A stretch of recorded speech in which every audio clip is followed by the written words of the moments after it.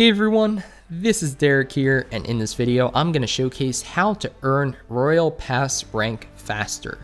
So let's go into the Royal Pass interface. This was introduced with the recent 0.6.0 global update, of course.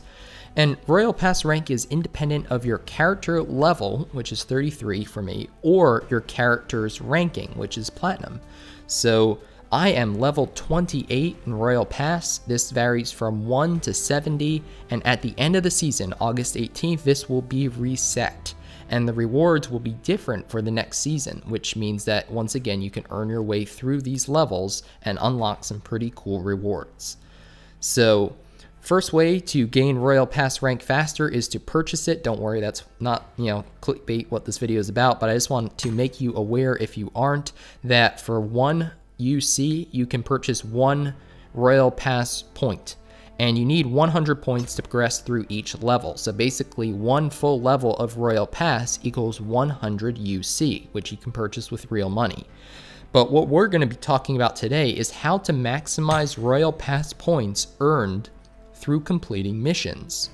So you have both daily missions and challenge missions, which are weekly, and the challenge missions, of course, are worth more because they're more difficult to complete.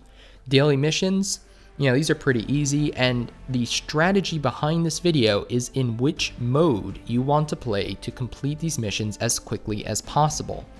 So travel for a total of 500 meters in any mode. That one, I'd say mini zone or classic. It's going to be easiest to find a vehicle and you can complete this task and then just leave the game if you want to. You know, that way you can grind these guys out as quickly as possible.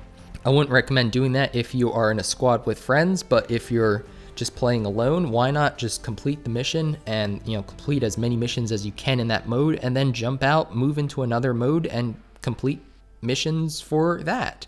Uh, because maximizing your Royal Pass points shouldn't take a long time. So complete one match with friends, just queue with a friend and then leave. Um, you guys could both do that together. Obviously, kill one enemy with an M416. I would do that one in either uh, Item Heaven of Quick Match Arcade. That's probably the best, you know, the fastest way to do it. Or potentially in uh, Classic or Mini Zone. Next, we've got some challenge missions. These ones are tougher, but don't worry.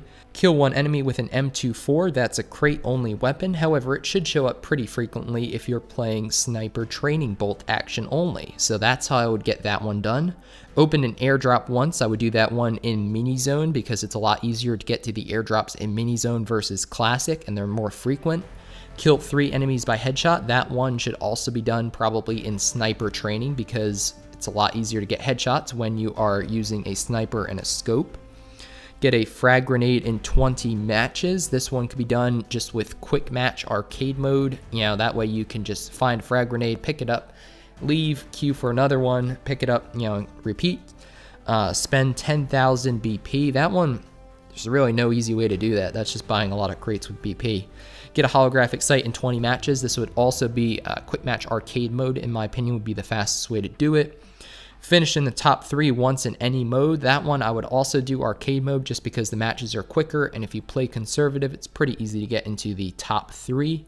Kill a total of 50 enemies. Once again, quick match arcade mode. It's easier to rank up or rack up those kills in that mode versus playing longer classic matches. Even if you're only getting three or four kills in arcade mode, that's better than getting 10 kills in classic and taking five times as long, you know? Kill an enemy from 100 meters away three times. That sounds like we'll get that one from sniper training mode, of course. And kill 15 enemies with an M416. That one, uh, that could be anything, honestly. I mean, you could either seek out an M416 in Classic and just try to own with it, or you could perhaps uh, go for those item heavy matches and try to find one because it's a little easier to find an M4 in that mode and try to get some kills. So that's the strategy behind this video. It's in completing missions looking at the mission, figuring out which game mode you can complete it the easiest in, and then taking advantage of that. So there's no, you know, other than purchasing the Royal Pass levels for real money or UC, there's really no shortcut.